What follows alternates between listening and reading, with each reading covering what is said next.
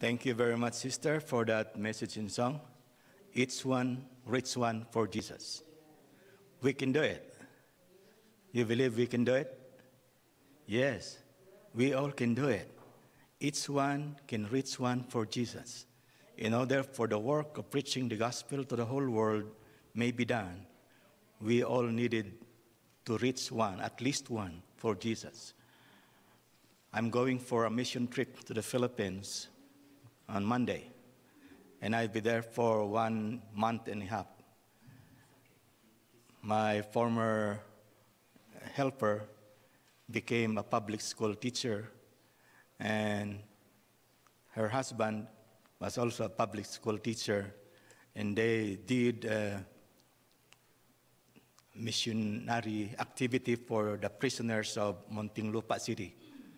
And there were 200 people got baptized inside the jail.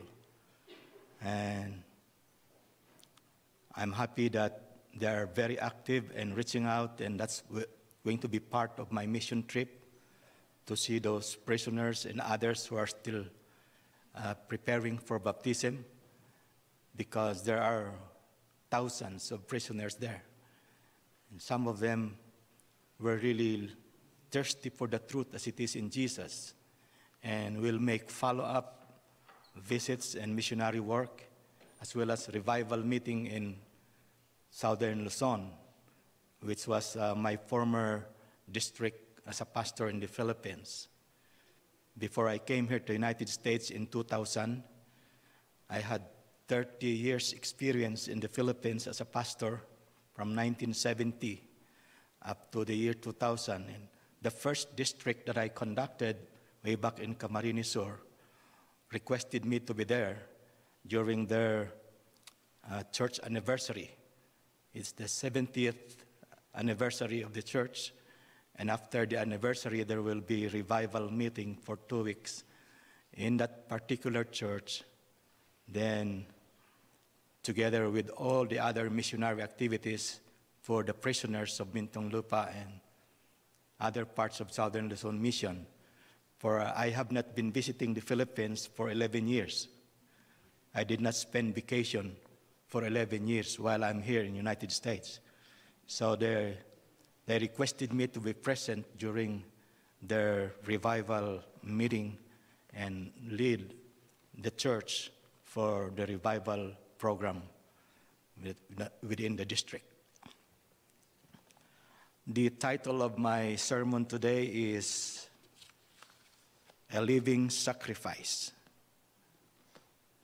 The word sacrifice is derived from the Latin word sacrificium, which means a sacred offering to the Lord.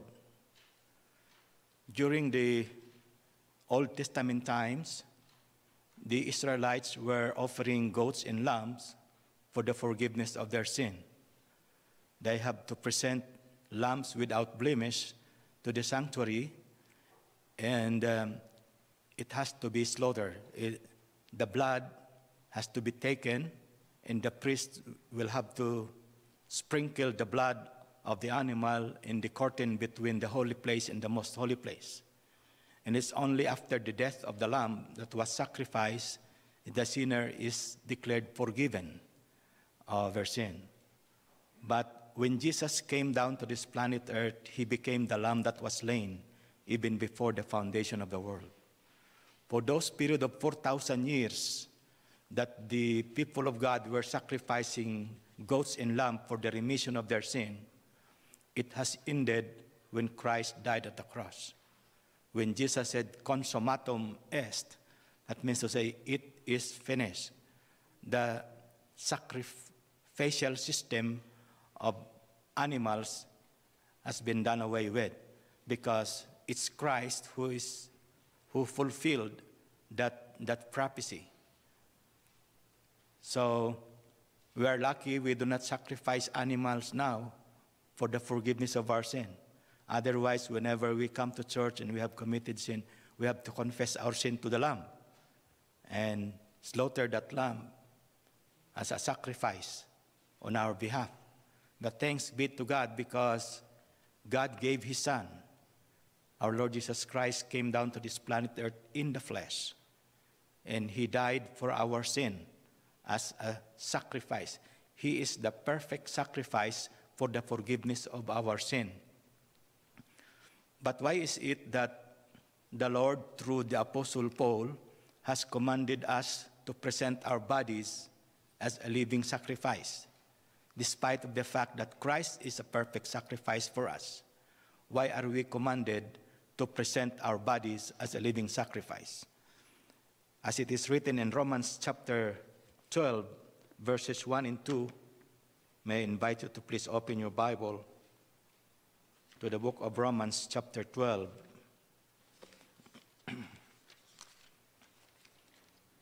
Verses 1 and 2, it says, I beseech you, therefore, brethren, by the mercies of God, that you present your body a living sacrifice, holy and acceptable to God, which is your reasonable worship. How do we present our bodies as a living sacrifice to God?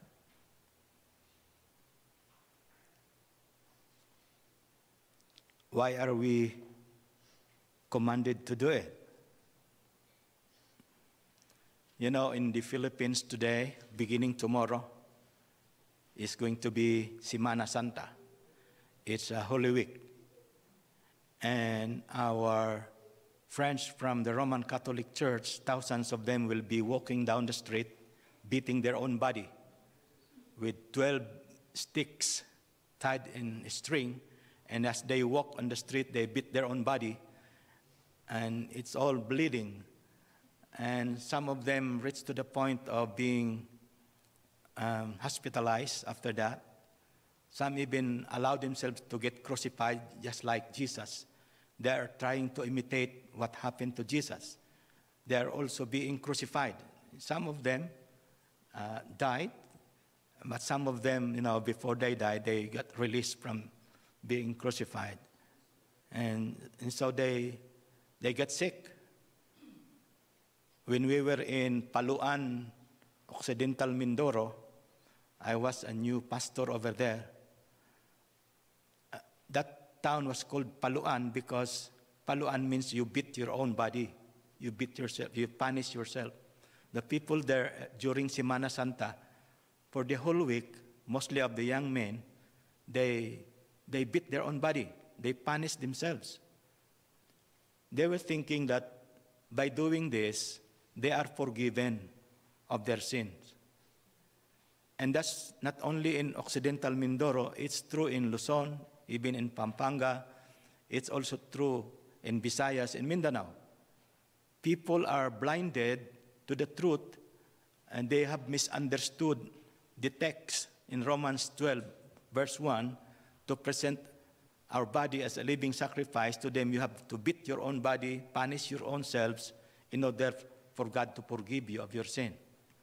But is that the way God forgive us of our sin? That is not the way. In 1 John chapter 1 verse 9, what does the Bible say? If we confess our sin, he is faithful and just to forgive us from all our sin and to cleanse us from all our unrighteousness. So God's way of forgiveness for our sin is not by beating our own body, by punishing our own body, but by presenting ourselves as, as a living sacrifice. First of all, we needed to confess our sin to Jesus and to, to the one that you have committed wrong. If you have committed wrong to your brother, you needed to, to go first to him. I need my water again. In Matthew chapter 18, the Bible tells us that you needed first to make reconciliation with your brother or your sister. And then after making reconciliation, go to the Lord in prayer and ask for the forgiveness of sin. And that's the way God forgive our sin. The Bible also tells us in James chapter 5 confess your sin to one another, that ye may be healed. So, we needed to confess our sin to one another, especially to the one that you have committed wrong, and then confess to Jesus. Then the promise of the Lord is, I will forgive you of your sin and cleanse you from all our unrighteousness. That is how God forgive us of our sin. If we confess and repent. When we confess, we, we specifically tell the Lord, we, we do not want uh, to prophesy and tell God what is our sin. We needed to go directly and tell to the Lord the sin that we have committed. And after that, repent. Do not do it again and again. Repent, and the Lord will accept our repentance, and we will be forgiven of all our sin.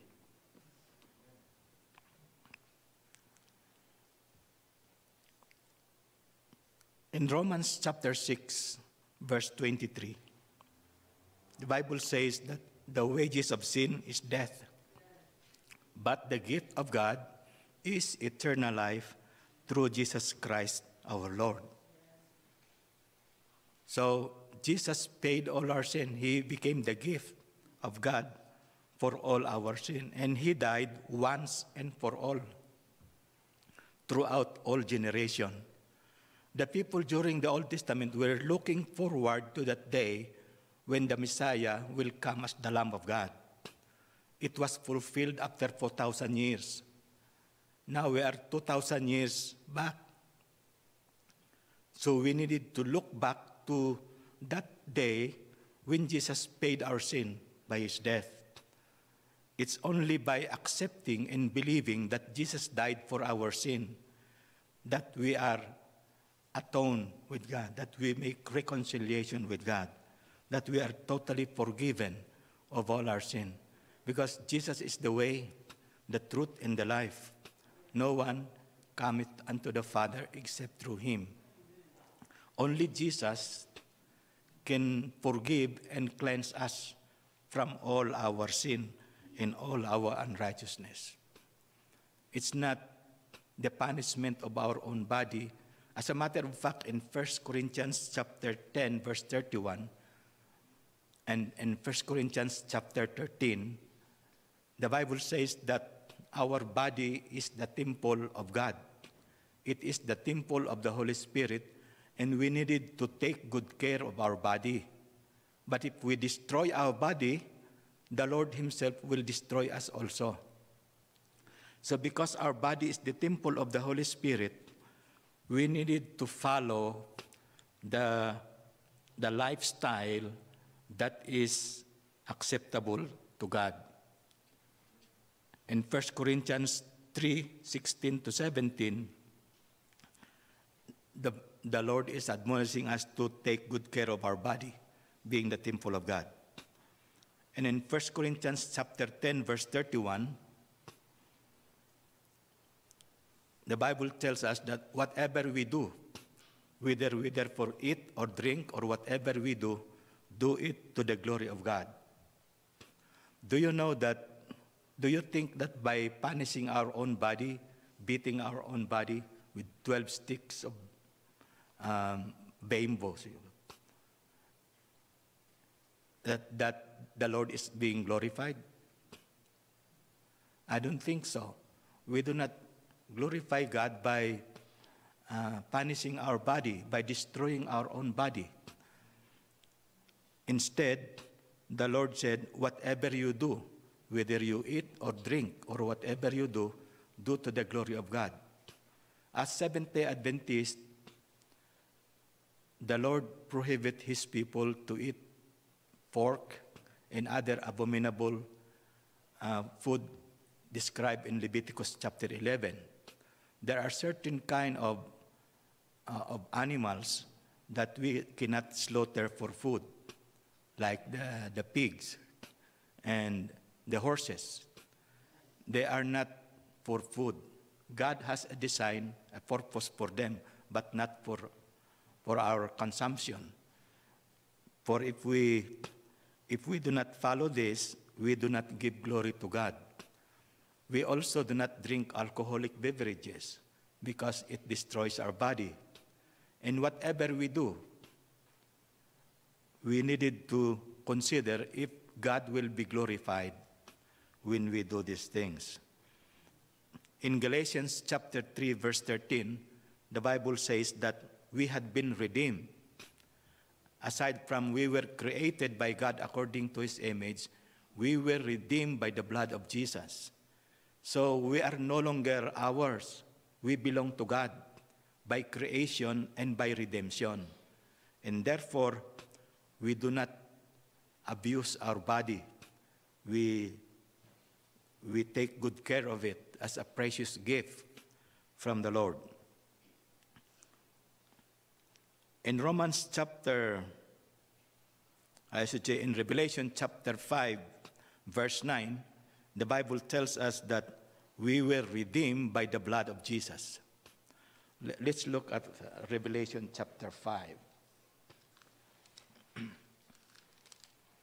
Revelation chapter 5, verse 9. And they sang a new song, saying, Thou art worthy to take the book and to open the seals thereof, for thou wast slain, thou hast redeemed us to God by thy blood, out of every kindred and tongue and people and nation. So we were all redeemed by the blood of the Lamb. Whatever nationality we belong, whether you are brown or yellow or black or white, whatever color of our skin is, we were all redeemed by the blood of Jesus. So we are precious in the Lord. We are His possession by redemption and by creation. Therefore, the Lord has made us a steward of our body to take good care of our body. The Lord made us stewards in four aspects of our lives. First of all, in our body, we are stewards of our body to take good care of it. Second, we are stewards of time.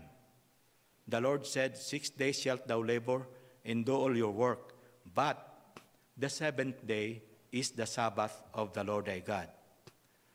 I would like to congratulate you for, for coming to church every Sabbath day because that was the, the habit of Jesus when he was on earth. It was his custom to, to go to church on the Sabbath day and read the scripture and preach the gospel to the people. In like manner, we are follower of Jesus. That's why we come to church every Sabbath day. The Christian church during the first 300 years were all Seventh day Adventists. They were all keeping Saturday as day of rest and worship, and they are waiting for the second advent of Christ. But in the year 321, Emperor Constantine changed the Ten Commandments. He removed the number two, he changed the number four, and he divided the number 10. And it was sanctioned by the Roman Catholic Church.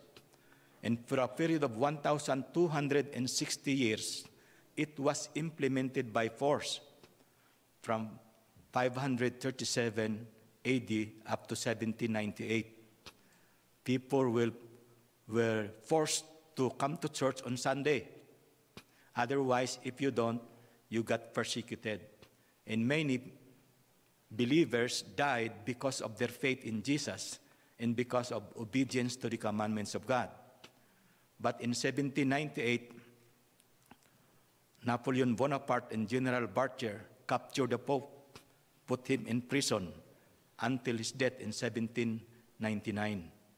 And after his death, revival and reformation has uh, spread all over Great Britain, and many of them migrated down here to the United States of America. And that's the reason why Protestant Reformation has exploded here in United States of America, seeking for religious freedom. But history will repeat itself. According to Sister Ellen White, history will repeat itself. The people of God will be tested again, and our faith in Jesus will, will be greatly and extremely tested. And the point of controversy in the last days will be the same it's the Sabbath. The Sabbath observance will be the point of controversy. Inasmuch that majority of Protestant churches today have joined with the ecumenical movement with the Roman Catholic. They are being united, and once it is declared, once Sunday law is declared, you and I will be severely tested. And during that time, many will, will join the persecutor. Among us, there will be many from among us who will avoid to be persecuted and join the persecutor. And those who will do that will receive the mark of the beast. But those who remain faithful to Jesus will receive the seal of the living God. So, which do you want to have? The seal of the living God or the mark of the beast? It will be our choice. It will be our choice. Because uh, if we chose to follow God and to stand firm for the right, we will receive the seal of the living God. The sealing and the marking of the beast will go hand in hand. It will go simultaneously. So I pray that you and I will receive the seal of the living God and not the mark of the beast. There is no marking of the beast yet until Sunday law is officially declared here in United States, which will be the final test of our loyalty. Another aspect of our stewardship is that of our talent. We were all given by God the talent. Some of you were given the talent of singing. Our sister who sang today, you have the, the talent of singing. Praise the Lord. And some of us here, Dr. Jack, uh, you have the talent of teaching. Praise the Lord. Continue to do that because the Lord is glorified when we use our talent for teaching, for preaching, for singing, and some of us have the gift of helping. Our technician here, it's a talent. It's given to you by the Lord. If you continue to do this, God will bless you.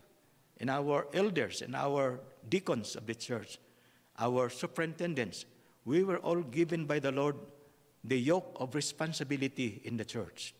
And if we are faithful in doing our own responsibilities in the church, whether it is small or great, the Lord will be glorified.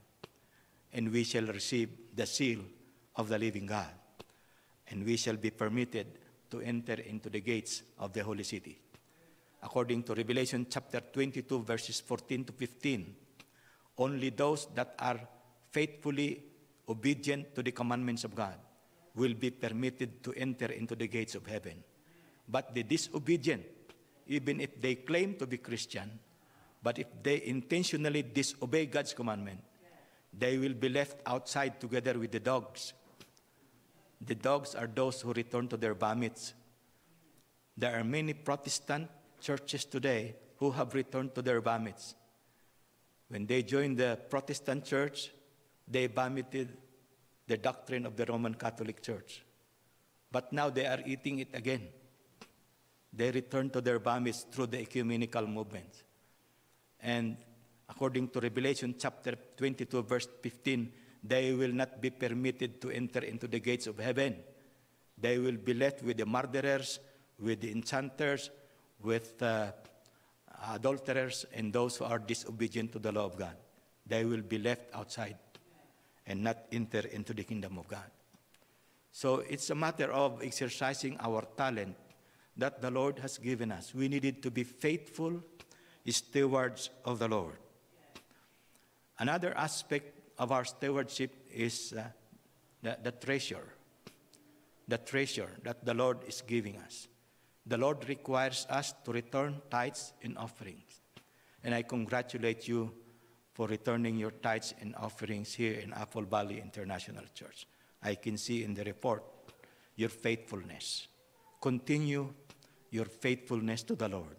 Be faithful in small things that the Lord has given us. Because if we remain faithful to the Lord, we will receive the commendation of the Lord when He comes again. And He will say, Blessed are thou, blessed, with, blessed are you, faithful, you are faithful in small things, I will make you ruler over many things. Enter thou into the joy of the Lord. So if we are faithful in the small things that the Lord has given us, we will receive that commendation of the Lord. But those who are not faithful, even if they call on the name of the Lord, the Lord will, will say, I do not know you. You have done iniquity in the world. Your part will be in the hell of fire. That will be a bad um, commendation. That will be condemnation for those who are unfaithful to the Lord. So, as redeemed stewards of the Lord, let us practice to be, to be faithful to the Lord in what He has done. It's not by punishing our own body that we present ourselves as a living sacrifice unto God. It is by being faithful steward of the Lord that we become a living sacrifice unto the Lord. There is an example in Philippians chapter 4 verse 18 of how we can present our bodies a living sacrifice. Please open your Bible with me to the book of Philippians.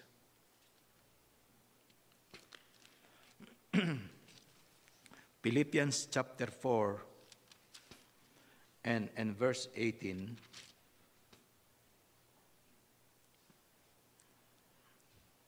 But I have all and abound, and I am full, having received of Epaphroditus the things which were sent from you an odor of sweet smelling sacrifice, acceptable and well pleasing to God. Who is this Epaphroditus?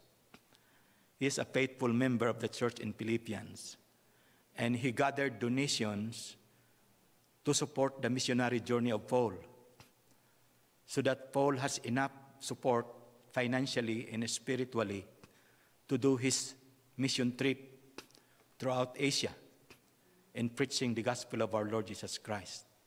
That is one example of presenting our body a living sacrifice, acceptable and well pleasing to God. We can do that if we support our missionaries. We have missionaries sometimes who are uh, languishing in hardship because they did not have enough support for their, for their mission trip, missionary work. But we needed to support them because unless the work of preaching the gospel all over the world to every kindred and tongue and people is finished, the coming of the Lord will be delayed. It has been delayed already. But according to Revelation chapter 10, there must be no more delay. How can we do it? If we faithfully exercise being faithful steward of the Lord, the work of the Lord will be hastened, and soon it is finished and His character is reproduced in us, then the Lord will take us home to our home in heaven where we never grow old and never get sick and never die. And according to Ephesians chapter 5 verse 2, another another way whereby we can present our bodies as a living sacrifice unto the Lord is by walking in love with Christ and with one another. If we exercise loving one another, if we are in love with the Lord and in His work of preaching the gospel to the world, we present our bodies as a living sacrifice unto God. And finally, in Hebrews chapter 10, from verse 12, Hebrews chapter 10.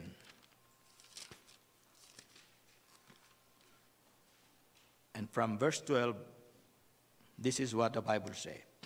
But this man, after he had offered one sacrifice for sins forever, sat down at the right hand of God, from henceforth expecting till his enemies be made his footstool. For by one offering he hath perfected forever them that are sanctified, whereof the Holy Ghost also is a witness to us. For after that he had said before, This is the covenant that I will make with them after those days, saith the Lord. I will put my laws in their heart, and in their minds will I write them. And their sins and iniquities will I remember no more. Now, where remissions of this is, there is no more offering for sin. This refers to our Lord Jesus Christ.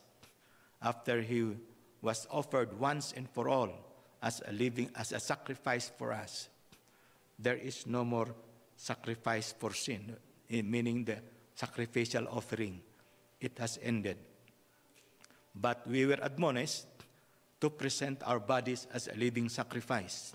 After we have accepted Christ's perfect sacrifice for us, in response to his perfect sacrifice for us, we also present our body as a living sacrifice, not in order to be saved, but as an evidence of being saved. As our gratitude to God for saving us, we present our bodies a living sacrifice to the Lord, holy and acceptable to God. My brothers and sisters, may we all present our bodies as a living sacrifice, holy and acceptable to God. Let us not follow those who are doing it blindly by punishing their own bodies to the point of getting sick and hospitalized, and some of them to the point of death. We no longer needed to do that. Because if we do that, we are as if not recognizing Christ's sacrifice for us. As if we are insulting Christ's sacrifice for us if we do that. But instead, let us praise God, thank God for what a wonderful provision He has given. May the Lord bless us.